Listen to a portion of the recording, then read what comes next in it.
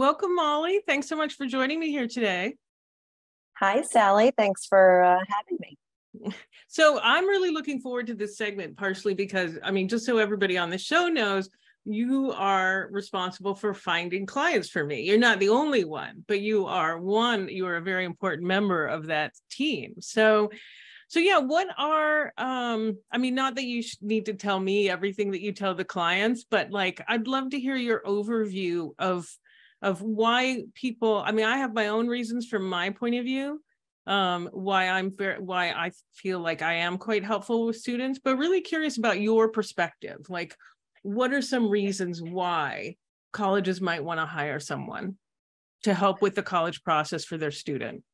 Yeah, well, yes. Yeah, so I'm the director of client services here at Bright Horizons College mm-hmm. Coach. So, what that means is I'm speaking to thousands of families from around the country every year that are interested in hiring an independent college admissions expert to work with their student. Um, you know, and the reasons why people reach out in the first place really can vary. I think it tends to fall in a few different buckets. The, you know, maybe the primary being we're feeling overwhelmed, stressed. This process is changing rapidly. Um, you know, we don't know what to believe, what to do next. Um, that might be because they're getting very little support from their high school. Um, I know you and I recently chatted mm-hmm. about the ratio in mm-hmm. the like the uh, ratio in the United States of students to counselors in high schools, and that's around 250 students for every counselor. Mm-hmm. So that's not right. And they're those counselors, their main set of responsibilities is often not college admission support. Mm-hmm. So yeah. that, yeah, that in and of itself can be the one of the primary reasons, just mm-hmm. really needing support. Um, oftentimes, it's also my student is high achieving, has some high goals. We know that can be really, really challenging at that most selective level. So we need we know that my child needs to be strategic in making choices with their courses and extracurriculars. So, really getting an expert's guidance and input on those decisions can be really key. Yeah, I want to actually go back, um, if that's okay, to the first point. Um, I was actually, as well as working in college admissions, I was a high school counselor, and my caseload was 40 students. And my really my only duty was college counseling. I also ran AP exams, um, but that was that was it. That was my duty, and I was busy I was a busy, busy person. I was working more than full time. And so I just want to kind of highlight like 250 counselors, I mean, or 250 students for a counselor. And some districts, it's 500. I remember when I worked at the University of Chicago from certain districts in California, we wouldn't get a letter of recommendation. We'd just get a, tra- like, we'd just get a stamp where we ask for a letter saying like our caseload is too big we don't write letters and i just thought just heartbreaking for that student but also i don't blame the district. There's not enough funding. So i just want to put out my little editorial. I know that's not like the but right. uh, i just want to highlight that i think that that's really tragic. So um but yeah luckily we are there. We are happy to give some expert college advice. So what are what kinds of advice do people want? Like like obviously if it's a more selective college i mean if you're in california and you're applying to kind of one of the Cal States, you probably don't need us as much. But like if you're going for UC Berkeley, if you're going for Stanford, if you're out, if you're applying to University of Michigan or whatever it might be, you know, that that can make a difference. Right. Well, right now what I'm hearing from seniors, families that are coming to us with a senior getting ready to apply, that might be we're needing help with finalizing the college list. Mm-hmm. we have some really great fit uh, reach schools maybe our best a few best fit no problems but we need help finding something in between um, and my students kind of is feeling really behind in the writing process doesn't really mm-hmm. know where to start needs an expert to help you know brainstorm ideas what to what to highlight in their personal statement and some editing guidance as well mm-hmm. um, yeah. for families of students that are starting earlier in the process with us maybe ninth 10th grade than it is more focused on extracurricular support. You know, students are so busy, parents are so busy. You know, what are the things that my child could or should be doing to really maximize their chances of admission, but also for them to really explore their their interests and mm-hmm. focus their time. Yeah. I want to Mhm. say though too that I think curricular choices are important as well. I worked with a student who luckily signed up with me in his junior year. He wanted to be an engineer and he hadn't taken physics. And I said, You have to take physics next year. That is not an option. That is not like you have to take physics. And he's like, Well, I don't know. I was, and I'm like, Do you want to be an engineer? If so, you must take physics. And if they hadn't talked to me, they wouldn't have known that. Yes, So and I always highlight that too. And I think families don't realize the importance of Mhm. that. Um, they're like, no, we we have that set. You know, my my high school says this is what I need to do. And I often say that might be great for most students in the high school, often for your state programs. But if you're Mhm. looking at privates or publics out of state, sometimes that our guidance might be actually again, you know, kind of against Mhm. what, what what the school counselor is saying. So it Mhm. really does depend on what the student's goals are. Mhm. Um, but yeah, I'm glad you highlighted that because it's Yeah. something I stress. Yeah, I'll highlight one other thing. I run into a lot of top students in Texas who stop taking language after their second year. And I'm like, look, if you want a Texas school, that's fine. But if you want Stanford, you you're gonna hurt yourself. Right. You know, and sometimes they don't get to me in time for me to be able to tell them that. So these things can be important. And yeah, the counselors are doing the best job they can, but they're thinking about UT Austin. They're not thinking about some of these other schools. So um, all right, what else? What else do people want help with? Well, one thing I hear fairly often, and maybe even increasingly so, is we want an expert to help us to reduce the stress in our family relationship, you know, Mhm. both for the student and for the family relationship. Um, you know, my child just won't listen to me, you know, so having a third party to help with those aspects. And then, you know, we ask our families as they wrap up working with us what aspects they found most valuable. And in addition to the essay support and the expert guidance, stress reduction is always in like the top 3 Mhm. So.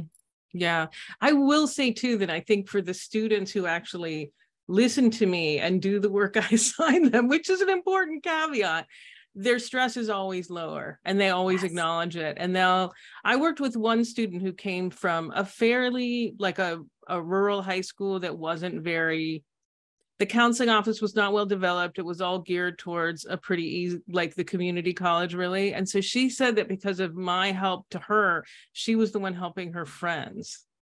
so and great. I had taken down her stress so much to the point where she was almost done. Her parents were not worried at all. And then she just was started helping her friends with things. And she said, you know, that was like, and I, I was like moved Yeah. by that actually, you know? Yeah, and I love hearing the feedback of like I really feel so much more confident in what Mhm. I'm putting forward, confident in in my choices. You know, there's Mhm. nothing better than hearing that at, at the very end of the process.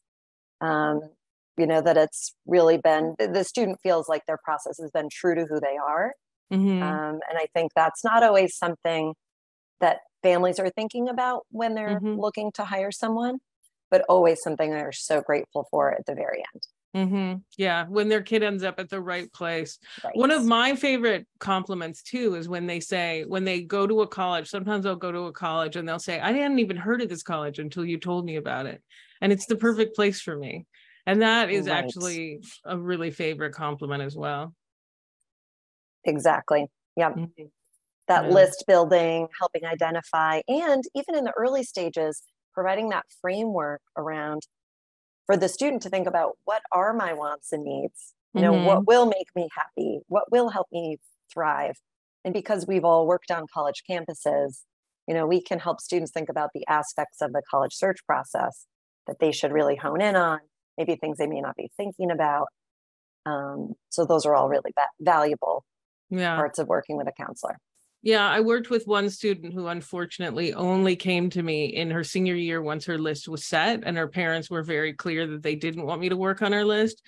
At the end of the process, she had been admitted to some very, very good schools. I want to be clear. I'm not going to say their name because I don't want to make it sound like I'm casting aspersions.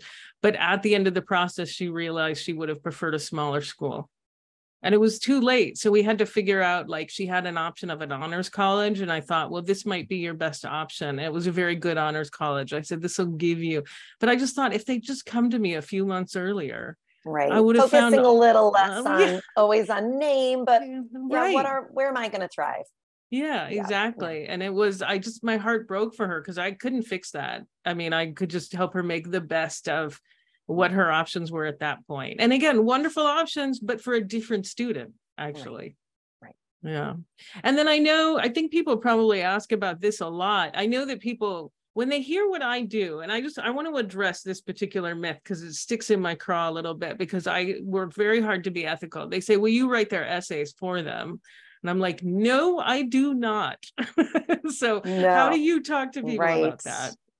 And that is a big point where where we often discuss at at length you know what our process is for helping students write. Um, you know first it is let's help you brainstorm what aspects of who you are what's important to you your values. Mhm. um, you know that the admissions officers may not see in the other aspects of your application you know knowing that often this is a holistic review process.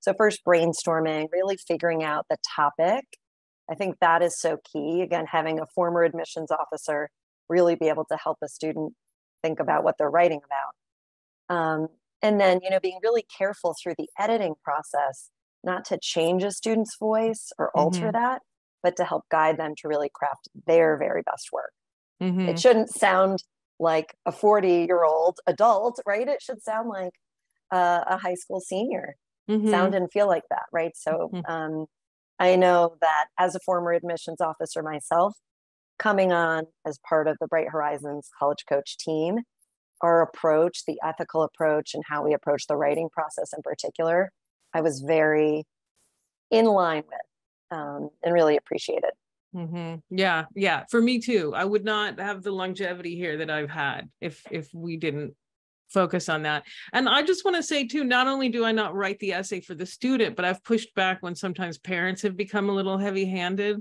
Um, one of my favorite stories is a student who she was a wonderful young woman. She got into a perfect college for her. It was great. And but she ended up quoting, she she wrote an essay. She wasn't the best writer. She loved math and science more, which was fine. Um, but she was writing something fairly serviceable. Then she comes back with a draft that is quoting Proust, who's like a fair, somewhat obscure Belgian author. I don't know if you've heard of him or not, but a lot of people are like, who the hell is that? Excuse my language. And um, I said, this does not sound like you. And she looks at me and she goes, Yeah, my dad wrote it. And I was like, Okay, we're going to go back to the last draft because nobody's going to believe that you wrote this. right red Like, flag as a like- former admissions officer yeah those stand out those flag. stand out yes. Exactly. The other thing too that I see that was kind of especially egregious, but well-meaning parents will kind of clean up the language and it ends up sounding like a work memo. And I'm like, no, the informal voice is good. These are high school students. They're allowed to be high school students. Yes, it needs to be grammatical, but it doesn't need to be stiff. Let's keep their personality in it. absolutely absolutely and those are the most memorable essays right where you Mhm. really can hear and get a sense of what the student's voice is so i think that can be a big mistake to overly polish overly edit out that authenticity hmm Yeah, yeah. One of the pieces of advice I give students, and my hope is that I can empower them this way, is to carefully choose who they're going to show the essay to yes and really limit it. More is not actually better. And that's often surprising to students. And then I usually follow it up by telling them, look, I've probably read at this point 60,000. Like I'm not exaggerating. I think Yeah. 60,000 college admission essays between my time at admissions and doing this. So I'm the one who's going to know how these things resonate more than your parent or even an English teacher and everybody at College Coach. I'm not saying this to brag about me, but these are who you recommend to uh, with students who call you. So, exactly right i think that's great great advice and great to give a student permission to create those boundaries right for their for their own writing process and for their mental health really mhm. Yeah. Can I make one last plug? It'll be in in like sort of indirectly towards us. One of the things that concerns me when I talk to people about whether they want to hire me or, or not, or one of a, you know, one of my colleagues is I say, you know, there are other good people out there. I'm very proud of all my colleagues. I think we're great, but there certainly are other good people. But make sure you hire someone who actually worked in college admissions. Someone who just went to a highly selective college does not actually, they think they have insight into how the process works, but they don't. So definitely work someone who's been in college admissions. Right. And I think the other big thing is do you get the choice of who you're working with? And is Mhm. that going to be a good fit? Right. You could have the most amazing teacher with the best resume, but if you don't really connect with their learning style, Mhm. It's not going to be great. Right. So, same with a college counselor. Is it going to be a Mhm. great fit? Have a nice synergy? The experience is number one, but number two, the fit. Yeah, absolutely. Yeah, I've had people who switched away from me um, to a colleague and had people that same colleague lose someone to me because I just have a different style and that's all fine. So um all right, any last words? Anything else that you want to um highlight? I think if anyone has questions about what it would be like to work with us, they could visit our website, which is getintocollege.com. And I'd love to set up a call and we can learn more about your child and, and explore next steps. All right, that sounds great. Thank you so much, Mollie. Thanks for having me. All right, so uh, we're going to take a break, and when we come back, we will be addressing FAFSA simplification.